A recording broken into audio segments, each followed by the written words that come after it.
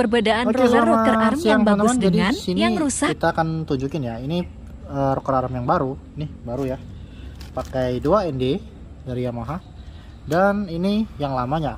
Jadi kalau teman-teman punya Yamaha Vision, mengeluhkan suaranya kasar atau ngetek-ngetek gitu ya, sudah setel klep masih aja berisik, dicek klepnya nggak jeber, teman-teman bisa cek ini. Nah, kebanyakan yang bertanya, bang kok bisa sih ini kalah? Kalahnya di mana bang? Ini nih, ini nih di mana kalahnya? Kalau ininya sih jarang kalah ya mas, paling di sininya. Tapi karena dia sudah model topi seperti ini aman gitu ya. Dan biasanya itu hanya di bearing ini, bearing ini kalah. Ini teman-teman bisa lihat ya, ini yang lama. Tuh, berisik ya.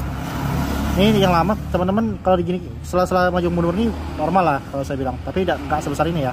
Tapi yang bermasalah itu seperti ini teman-teman. Teman-teman bisa lihat ini.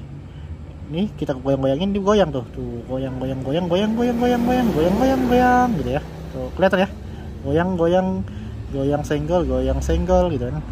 Nah sedangkan yang baru teman-teman bisa lihat ini selanya ya ada juga selanya. Tapi apakah dia bisa maju mundur? Tuh tidak bisa masku tidak bisa. Karena kelahar bambunya benar-benar rapat tidak ada sela tuh.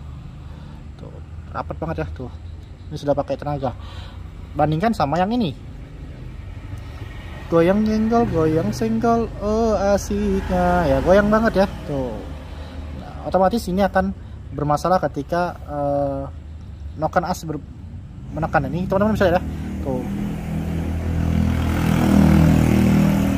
Berisik banget. Tuh. Jadi kalau kita goyang-goyangin seperti ini dia akan goyang. Goyang banget tuh. tuh. Bandingkan sama yang lama eh yang baru ya. Yang baru. Yang baru tidak akan ada goyang sama sekali. Tuh. Ini goyang goyang goyang goyang goyang goyang. Oke jadi buat teman-teman kalau misalnya punya masalah piano clap eh berisik ya berisik pada Vixen ya silahkan cek piano clapnya kalau rusak silahkan ganti. Dengan yang baru ya dengan original. Insya Allah tidak akan banyak ulang lagi. Oke semoga bermanfaat